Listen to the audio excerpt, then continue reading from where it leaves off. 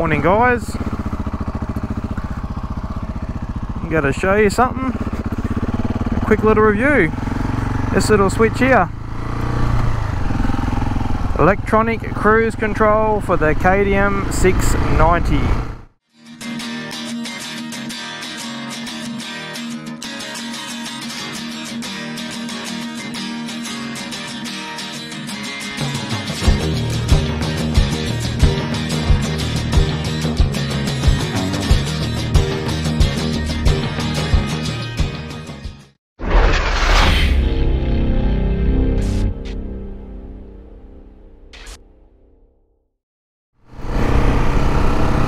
You purchase these from MC Cruise down in Melbourne. They do cru electronic cruise control for a whole make and model of bikes.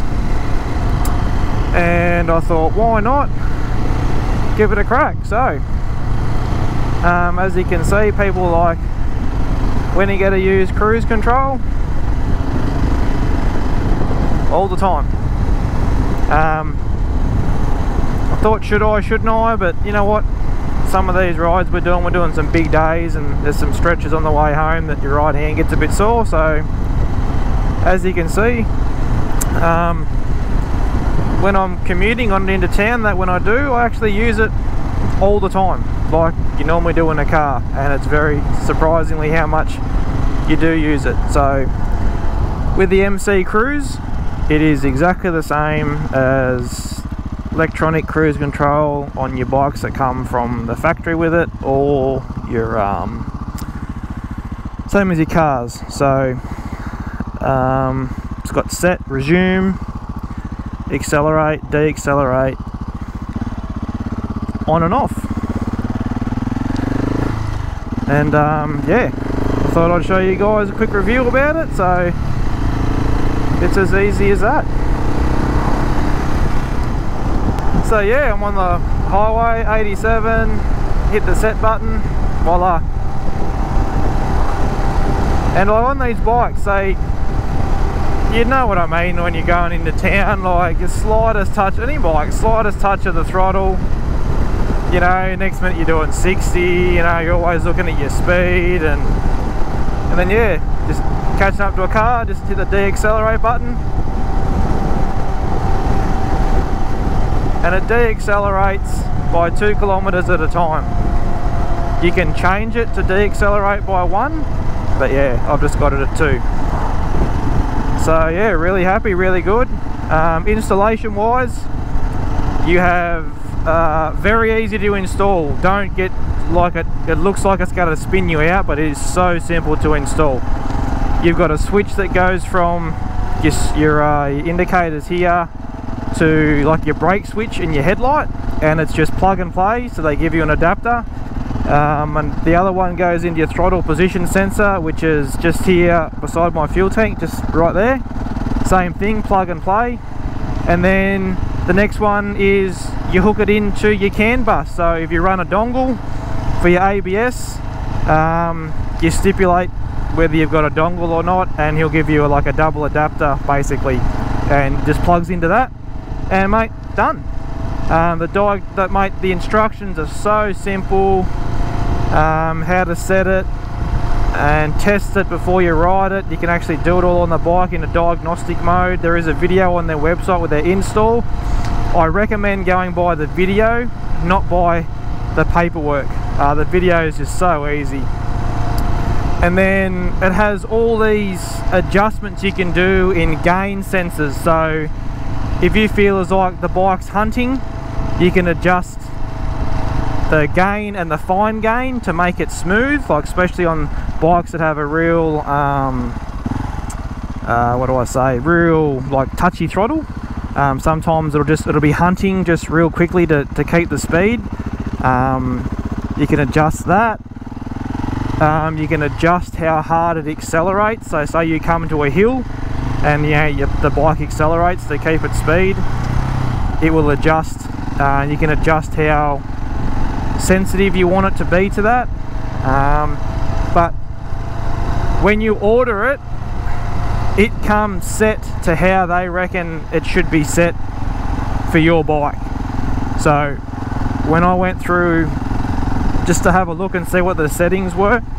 Um, they basically set it from the factory when they make it to how it should be on my bike. So everything was really low. Um, and yeah, it works perfect. So, yeah, what am I doing? 45, just hit it.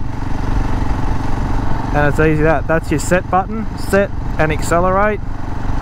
That's your resume and deaccelerate. That's your on off and that's your light to tell you what's going on. So when you go through your menus, different colors and different flashes represent different settings.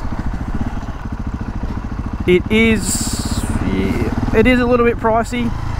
Um, I think it's $850. Um, I've got the ABS dongle so it was a little bit extra to get the piggyback so you could plug both in full you go school zone bang 40 not going to worry about speeding hands off uh, your brake your clutch your brake and your clutches um, disconnect turn it off so yeah not much else I can say um, you know, I had a few people say that when you got to use it, when you got to use it. You know what? When you've got it, you use it all the time.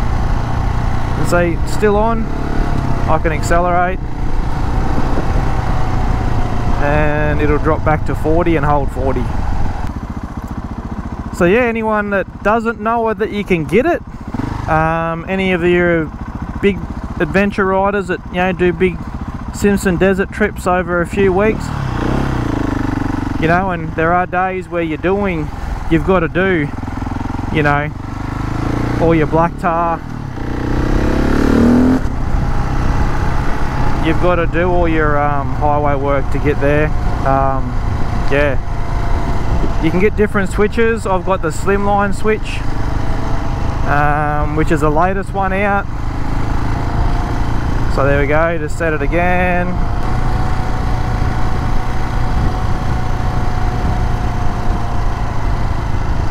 So yeah I use it all the time. And, and to you get like I said you get a slimline switch you can get one that goes um, above it which is a long bar and you get one below it which is a bar. But you'll see that on their website so. But there we go. There is my take on the MC Cruise electronic cruise control for the 2019 and 20 KTM 690 Enduro. Righto guys, just going to do a quick video of all the mods I've done to this 2019 690 Enduro R. So um, yeah, here we go. So I've got the Rade Garage Rally Tower.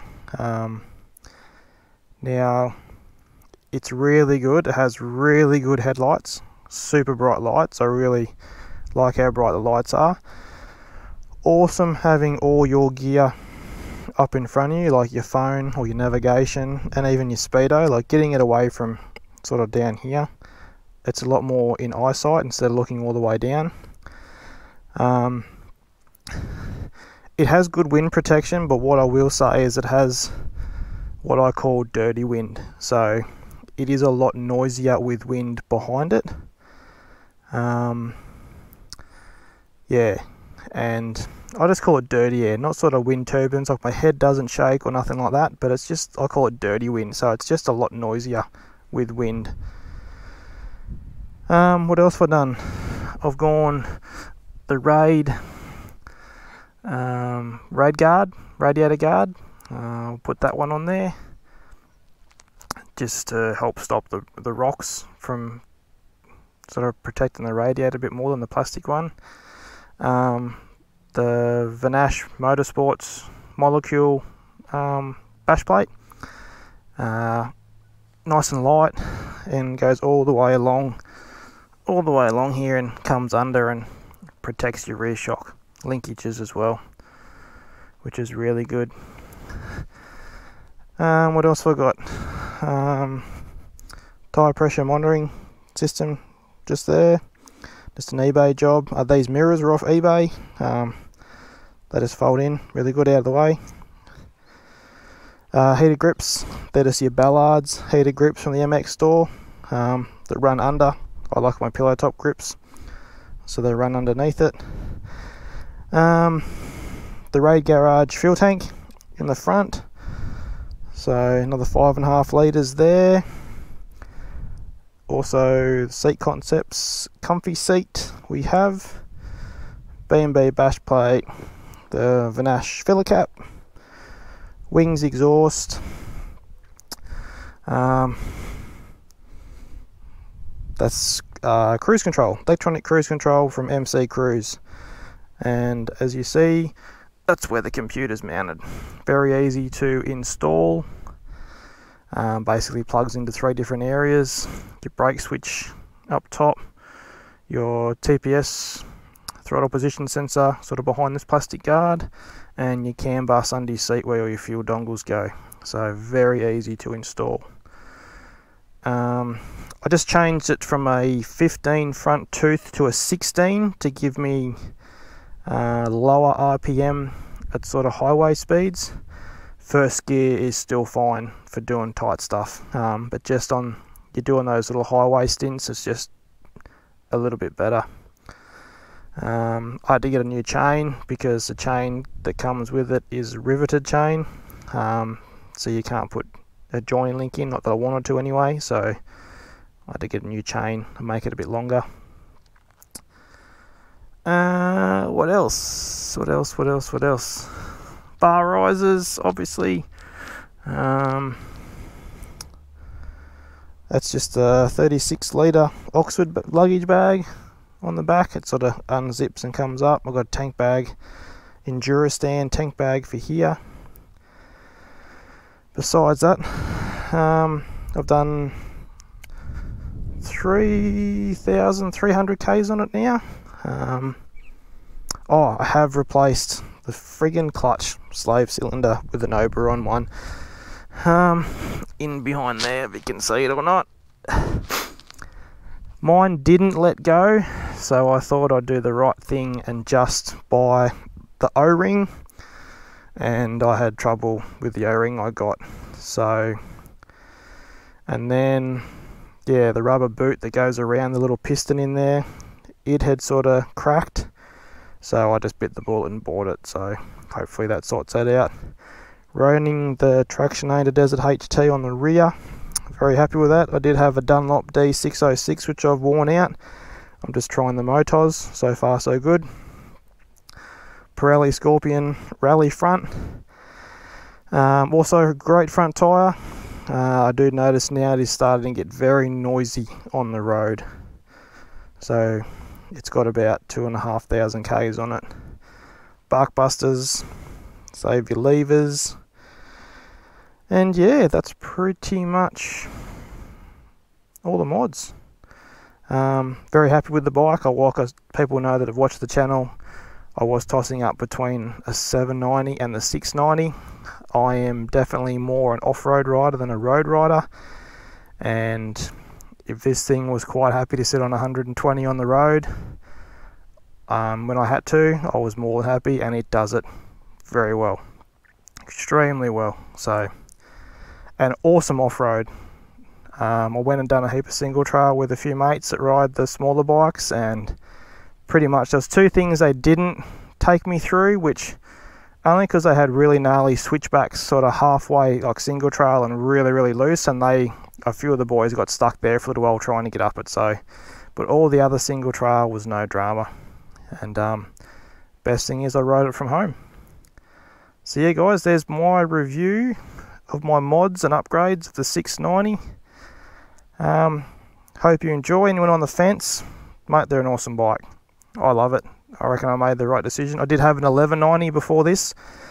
I went the wrong way. I went from one extreme riding a 450 EXC to buying an 1190, and yeah, way too big for off road. And then yeah, serious consideration. We come back to the 690, and I love it. It's great. So, thanks for watching, guys.